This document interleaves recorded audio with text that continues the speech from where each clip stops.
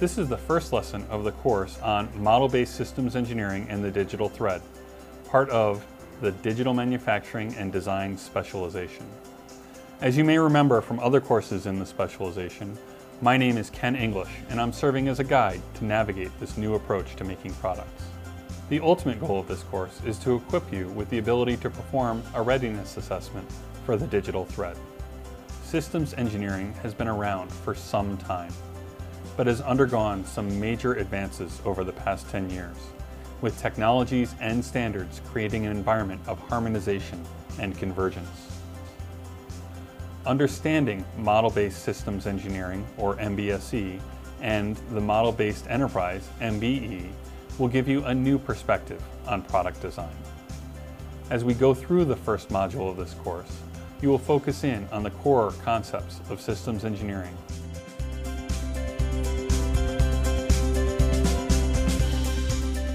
I'm David Long, president of Vitech, And I was actually born to be a systems engineer. My father was a systems engineer. And while he did not push me into the field, the way he taught me, me to see the world was through a systems lens. And so it really dates back to that time. If you're a true systems engineer, you struggle to see the world in any other way. My father grew up in the aerospace industry with an organization by the name of TRW, now part of Northrop Grumman and is the father of what we today know as model-based systems engineering. He did the earliest work back during the late 60s and early 70s for ballistic missile defense. Continued that research on through, well, the 90s when we founded Vitech Corporation together and on to his death in, in 2010. Since then, I've picked up the, the ball and moved it forward. Systems engineering to me is a critical aspect of the 21st century as systems become more complex. And that's, that's the journey to continue to move it forward to deal with ever more complexity in an ever better way. As products have become increasingly complex, the connections between components becomes increasingly important. The connections can be physical or functional.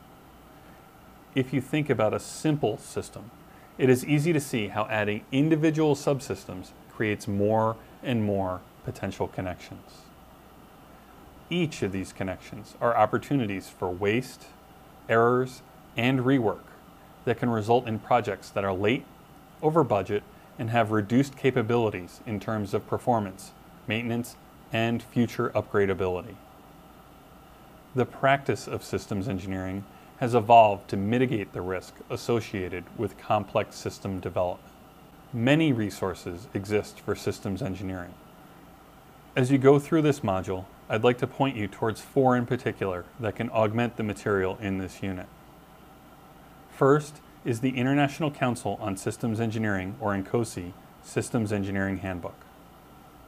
Second is the Systems Engineering Body of Knowledge, SEBOK, at sebokwiki.org.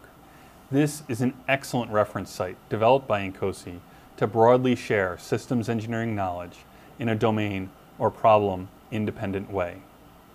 The 2015 edition of the ISO IEC IEEE 15288 standard, Systems and Software Engineering System Lifecycle Processes, often referred to as 15288. Finally, the NASA Systems Engineering Handbook, updated in 2016, which provides an excellent view into how systems engineering principles are put into practice by an organization focused on designing and building highly complex systems. Using these resources, you will find that systems engineering is a mindset that results in an interdisciplinary perspective on how to design and manage complex systems over their life cycles. Well, model-based systems engineering under that name grew up about 10 years ago and at that point, it was actually an effort to close the gap between systems and software engineering. As systems had more and more software content, we found that the communication gap was beginning to impair system development and system performance. In those early days, it was all about closing the system software gap. Over the last 10 years, INCOSE, the International Council on Systems Engineering, has progressively invested more time and more energy to move the community forward. What we see now is model-based systems engineering is much bigger. It's not about the software component, it's about the systems engineering component on all fronts. And perhaps the biggest change is model based systems engineering is now becoming the linchpin to, you can call it model based engineering, digital thread, digital tapestry, but really connecting to digital engineering so that we can better deliver capabilities to these complex problems we face. Let's start off our exploration of systems engineering with the question of what is a system? In the 15288 standard, section 5.2.1, systems are described as, quote, man-made, created, and utilized to provide products or services in defined environments for the benefit of users and other stakeholders. Appendix C of the INCOSE Systems Engineering Handbook, 4th edition, has defined a system as an integrated set of elements, subsystems, or assemblies that accomplish a defined objective. These elements include products, hardware, software, firmware, processes, people, information, techniques, facilities, services, and other support elements. These are definitions of systems in the, quote, real world, unquote, which need to be distinguished from representations and abstractions that represent concepts. Some other concepts around systems engineering are a system boundary. A system boundary defines the scope of a system, creating a distinction between the system and the environment or context in which a system exists. The system architecture.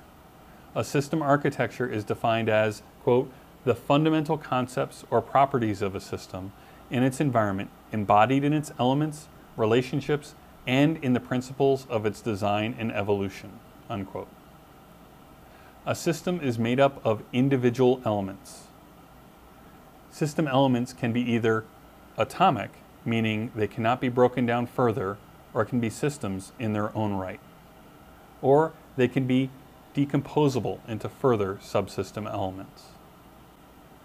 As you explore systems engineering, you'll realize that a challenge exists. When have you sufficiently decomposed a system? This level can typically be determined when you can treat the element as a black box, where you do not need visibility into an element to understand it. Another way of thinking about this is that if you can confidently make, buy, or reuse the item, and there's no need for additional understanding, you have sufficiently decomposed the system.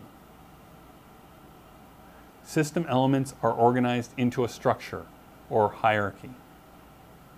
A system hierarchy is defined in the 15288 standard as the system lifecycle processes are described in relation to a system that is composed of a set of interacting system elements, each of which can be implemented to fulfill its respective specified requirements. For very broad perspectives, a system of systems is also a hierarchy of elements, but the elements are independent, managerially and or operationally. Systems of systems can also be defined by when the integration of the independent systems gives results that otherwise usually are not possible.